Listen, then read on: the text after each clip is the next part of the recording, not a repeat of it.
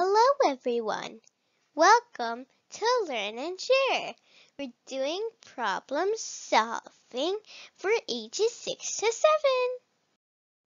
Problem 14. Ana, Bob, and Carl each wear a number on their shirts. The numbers are 34, 25, and 18. Use the clues and find each child's number. Clues. The boys wear even numbers on their shirts. And the sum of the digits in Bob's number is 7. What is the number on Ana's, Bob's, and Carl's shirts? Do you want to try it yourself? Feel free to pause the video and try it yourself.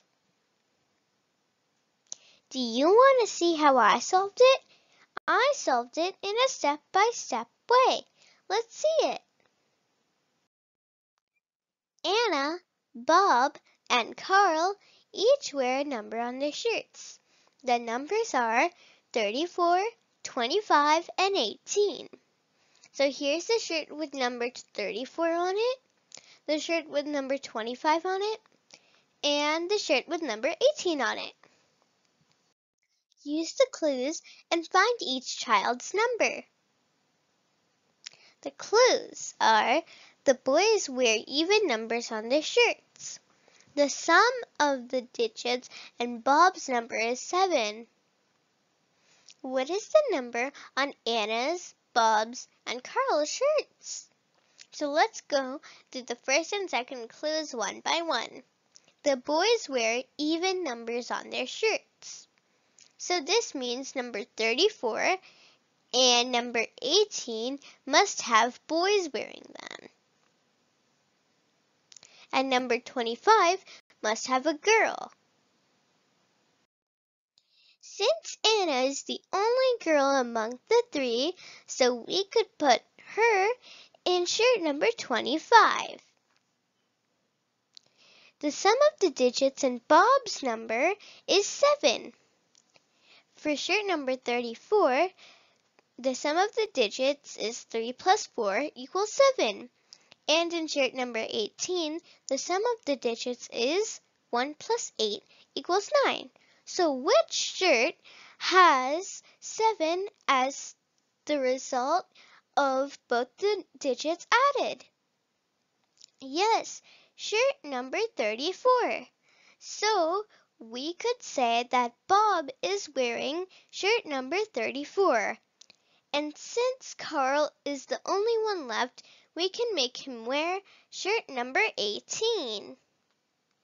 So, Ana's shirt has number 25, Bob's shirt has number 34, and Carl's shirt has number 18. Yay, we solved the problem! Coming up is the fun part, and that is... Make your word problem. Here is a tip. In this type of word problem, you could think of some numbers and think of various clues to identify those numbers. Like, are they prime or composite? Are they even or odd? And what are the sum of the digits or what are the difference of the digits? And the project the product of the digits. With that information of, in hand, you could create a word problem around it. Let's see this with an example. There are three piggy banks, one, two, and three. They have 36, 84, and 29 coins.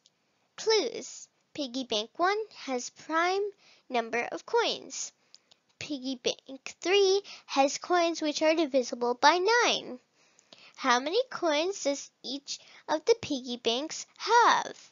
In this way, you can make your own word problem.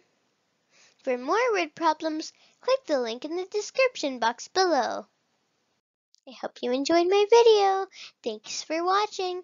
Please like, share, and subscribe to my channel. See you. Bye.